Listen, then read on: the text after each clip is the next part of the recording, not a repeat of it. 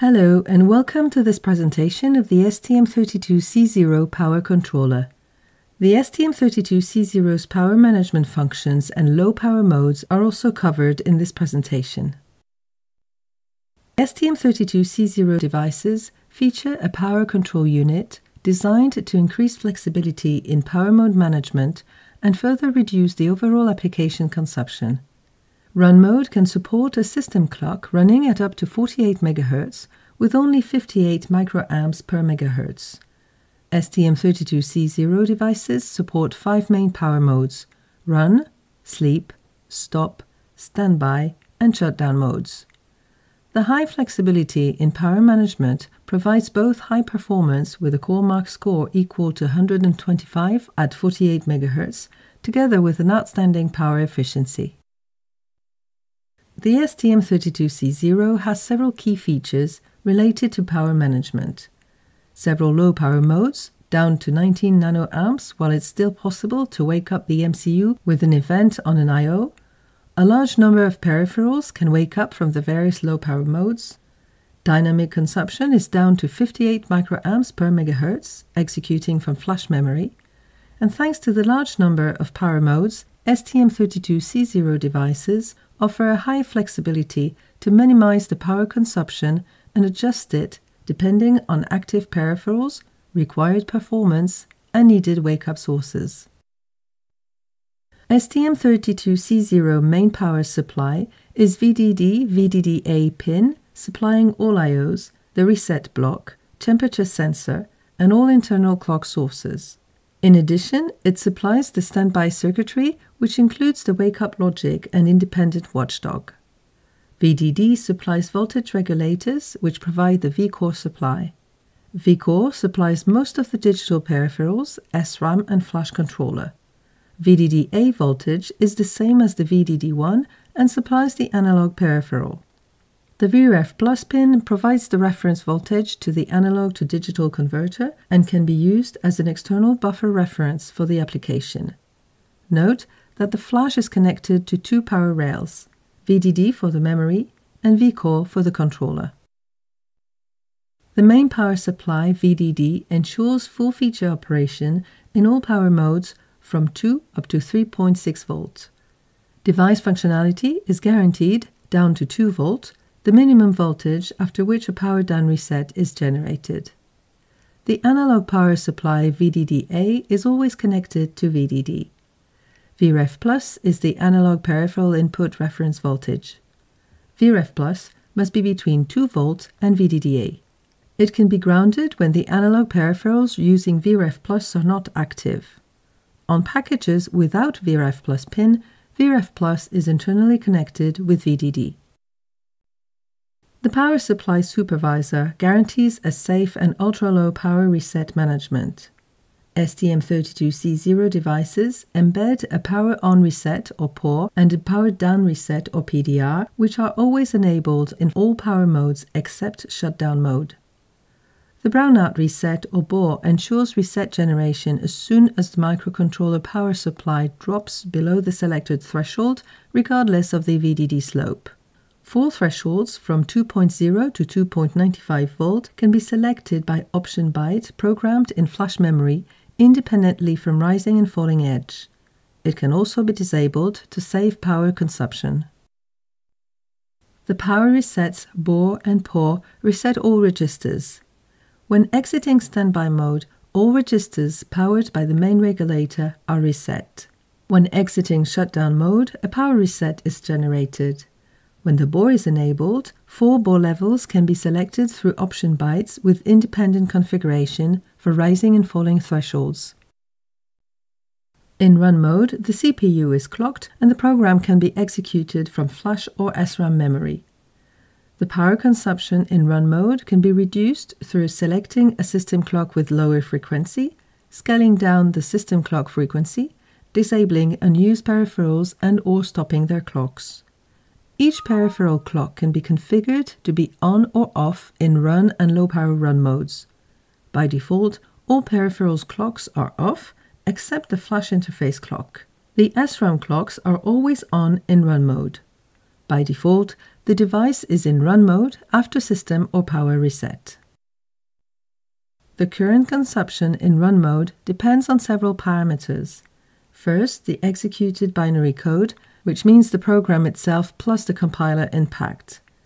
Then it depends on the program location in the memory, the device software configuration, the I.O. pin loading and switching rate, the temperature, and the memory from which instructions are fetched, flash or SRAM.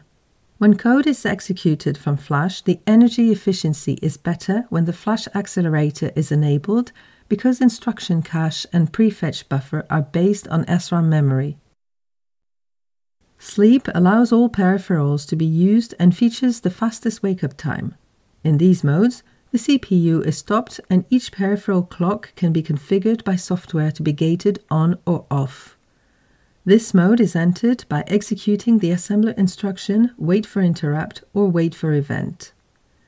Depending on the sleep on exit bit configuration in the Cortex M0 Plus system control register, the MCU enters sleep mode as soon as the instruction is executed or as soon as it exits the lowest priority interrupt service routine. This last configuration allows to save time and consumption by saving the need to pop and push the stack when exiting the low power mode. However, all computations must be done in Cortex M0 Plus handler mode because the thread mode is no longer used. In sleep mode, the CPU clock is off. The frequency of the system clock is up to 48 MHz. By default, the SRAM clock is enabled. It can be gated off during sleep mode by software.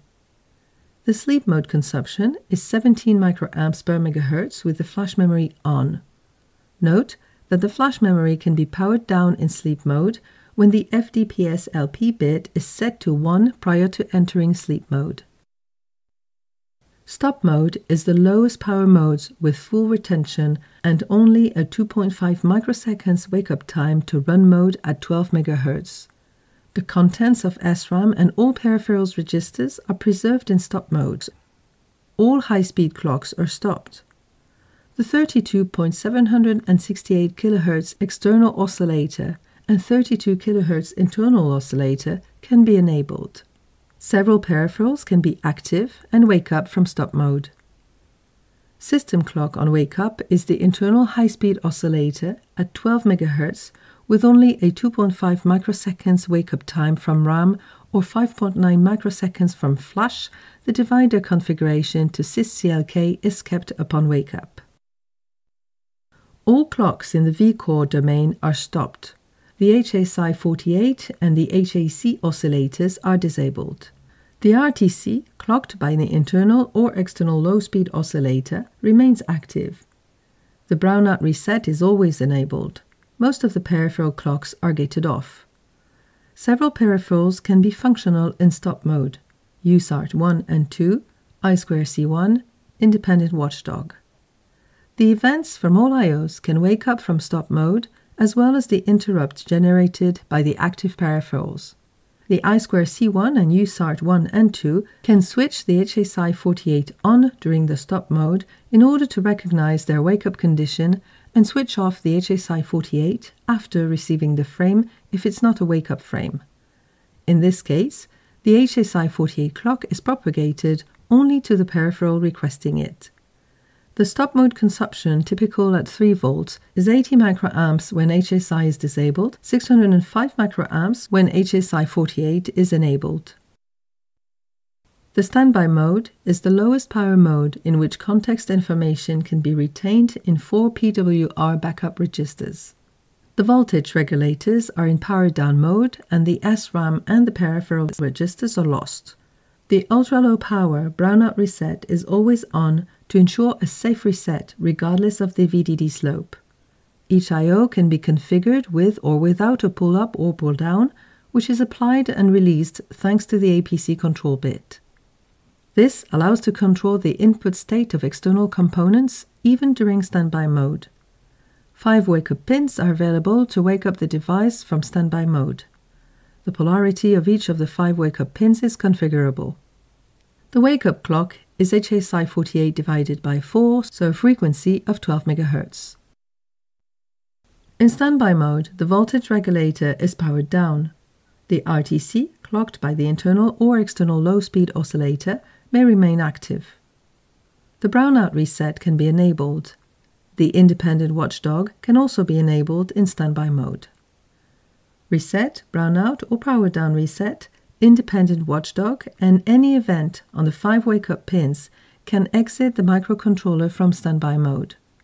The consumption in standby mode without the RTC is 7.45 microamperes, typical at 3 volt. The shutdown mode is the lowest power mode, with only 19 nanoamps A at 3 volts. This mode is similar to standby mode, but without any power monitoring. The brownout reset is disabled. Hence, the microcontroller state is not guaranteed in case the power supply is lowered below 2 volts. The LSI is not available, and consequently, neither is the independent watchdog. A brownout reset is generated when the device exits shutdown mode. All registers are reset, and a reset signal is generated on the pad. The wake up sources are the five wake up pins. When exiting shutdown mode, the wake up clock is HSI 48 divided by 4, so 12 MHz. In shutdown mode, the voltage regulator is powered down. The brownout reset is deactivated. The wake up events are the reset input and the five wake up pins. Here's a summary of all the STM32C0 power modes. The device can transition from run mode to any of the low power modes and from any low power operating mode to run mode. Transiting from one low power mode to another isn't possible. Three bits are available in the flash option bytes to prohibit a given low power mode. When cleared, an option bit configures reset generation when entering shutdown mode.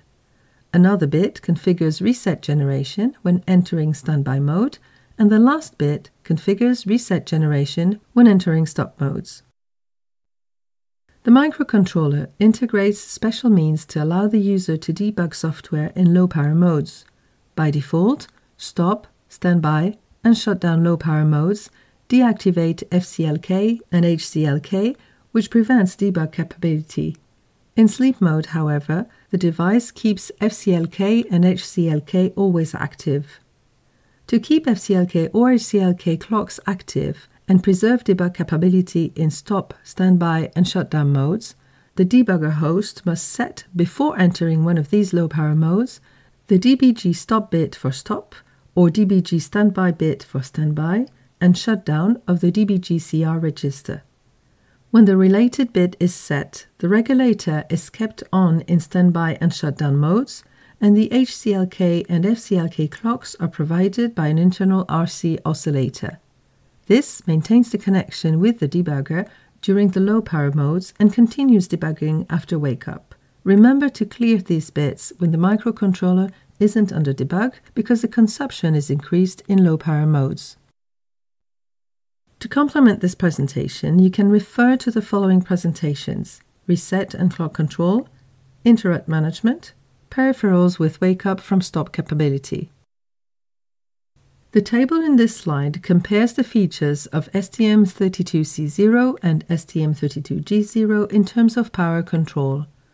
The STM32C0 supports a unique stop mode, while the STM32G0 supports two stop modes. The STM32C0 ensures the retention of only the backup registers in standby mode, while the STM32G0 also ensures the retention of the SRAM. VBAT mode is not supported by STM32C0. Sampling mode for BOR and PDR is not supported by STM32C0. In stop 0 and 1 and standby mode, POR and PDR can be periodically activated in STM32G0 to decrease power consumption. Thank you for attending this presentation.